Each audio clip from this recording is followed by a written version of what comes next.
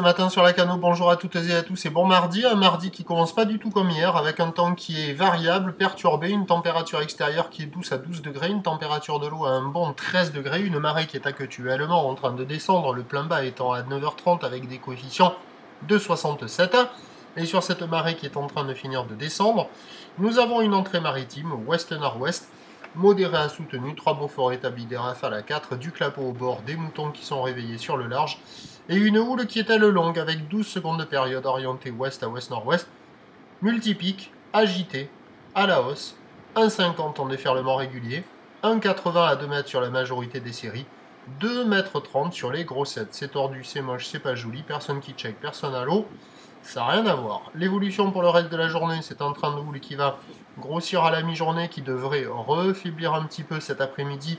Au dernier relevé, la bouée Arcachon-Gascogne poussait encore un petit peu à la hausse à 2,90 m et 8 secondes. Pour ce qui est du vent, il devrait rester avec un secteur ouest-nord-ouest et se calmer tout au long de la journée. Ce qui nous donne en prévision à 9h 2,30 m, ou l'ouest à ouest-nord-ouest, 12 secondes de période, bon ouest-nord-ouest 3 à 4 Beaufort.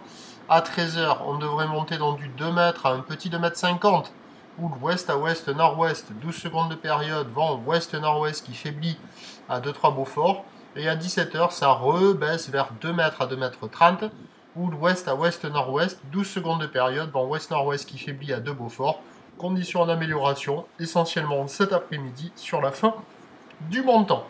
Je vous souhaite une bonne journée, on se retrouve à 11h30 pour le prochain point.